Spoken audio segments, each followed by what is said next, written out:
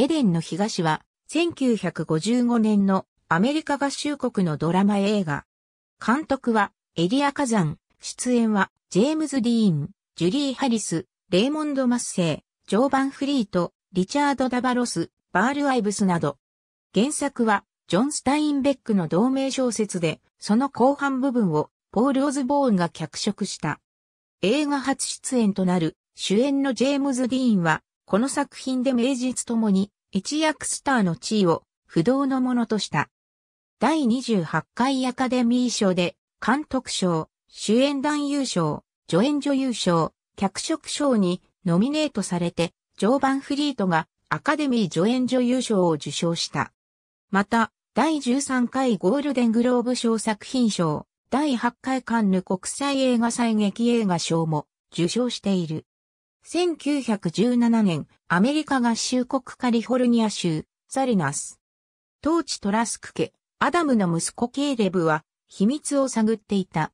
無賃乗車して、モントレーの港町でいかがわしい酒場を経営している、中年女性系統を尾行していた。彼女が死んだと聞かされていた自分の母かもしれない人物だったからである。キャルは、父、アダムの企画していたレタスの冷凍保存に使用される氷を屋外に滑らせ、砕き、そのことで父から聖書の一節を引用した叱責を受ける中、自分のことを知りたい。そのためには母のことを知らなければと母のことを問いただす。アダムは母との不和を話したが、彼女は死んだということは揺るがない。キャルはケイトの店に向かい、彼女と直接対面するも話には応じられず、追い返されてしまう。その後、キャルは、アダムの旧友である、保安官のサム・クーパーから誰にも見せなかったという、両親が結婚した時の写真を見せられ、ケイトが自分の母だと確信する。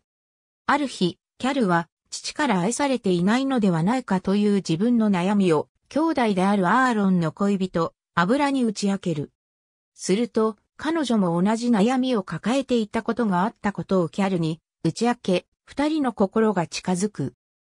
やがてアダムが冷凍保存したレタスを東海岸に運びを商いをして大儲けすることを狙って貨物列車で東部の市場へ輸送したが、その途中で峠が雪崩で通行不能となり、列車内で氷が溶けて野菜が腐ってしまい、大損害を被る。キャルは損失額を取り戻すべく取引の先見の命を持つウィル・ハミルトンのもとを訪れ、彼に認められて、戦争に伴う景気変動から豆が高騰するという話を聞くが、投資額は彼に工面できるものではない。そこで彼は、ケイトのもとへ向かい、資金を求めるが一度は断られてしまう。しかし、そこでケイトが家を出た理由は、自由を求めていたからということ、アダムがインディアンとの戦いで負ったと言っていた傷は、ケイトが家を出るときに彼女に撃たれておったということ、ケイトも息子キャルと同じようにアダムから聖書を引用した叱責と精錬であることへの束縛を嫌っていたことが語られ、話の後には資金の提供を受けることに成功する。第一次世界大戦が始まり、景気変動によってキャルは利益を上げるが、アーロンは自分は戦争に反対しているとキャルに語る。その一方、ドイツ系移民である靴屋のグスタフ・アルブレヒトは、戦火の煽りを受けることとなる。祭りの日、キャルは、アーロンと待ち合わせをしていた油と出会う。アーロンとの待ち合わせまでの時間、早く来ていた油と共に行動するキャル。二人は観覧車に乗り、キャルは、油からアーロンとの間には何か違和感を覚えること、母のいないアーロンが自分に求める母親の像と自分とは違っているということを打ち明けられ、そして油はキャルに唇を許す。一方、その観覧車の下では、靴屋のグスタフ・アルブレヒトが反ドイツ感情の強い人々に小づかれて、その中にアーロンが巻き込まれたことを目撃したキャルは彼を助けるべく騒ぎの中へと飛び込み乱闘騒ぎとなる。保安官のサム・クーパーがその場を収め騒ぎは静まったが、キャルは乱闘に巻き込まれたアーロンを助けに入るのに、油が近くにいたので、アーロンはキャールが油の前でいい格好をしたかっただけだと思ってしまい、殴り合いを始める。大豆の取引によってキャールが得た利益が父、アダムの損失額を補填できる金額になり、アダムの誕生日に、それを渡すキャル。しかし、戦争に良い感情を持たず、戦争を利用して大金を得たことを、アダムは叱責して金を受け取らず、アーロンと油が婚約を伝えたように清らかなものが欲しかったと語る。キャルは大声で泣き、父さんが憎いと叫んで出ていく。嘆くキャルを油が慰めているのを目撃したアーロンは月光。油にキャルのところに行くなと厳しい口調で伝える。それに対してキャルは父への憎しみが何時しかアーロンへの憎しみに変わり、母であるケイトの酒場にアーロンを連れて行き初めて彼に母と対面させる。驚いたアーロンを母と二人きりにさせてキャルが帰宅する。アダムにアーロンの行方を問われたキャルは、知らないね、僕は、兄さんの子守じゃないんだと返し、ケイトが家を出た理由にも触れ、父との決別を告げる。アーロンは最も軽蔑する女が、自分の母であったことを知って激しいショックを受け、自暴自棄になって、その日のうちに出兵する。アダムは知らせを受けて駅に行く。出兵する若者を乗せた列車の窓からアーロンは、頭でガラスを破って、父を笑い、列車は動き出す。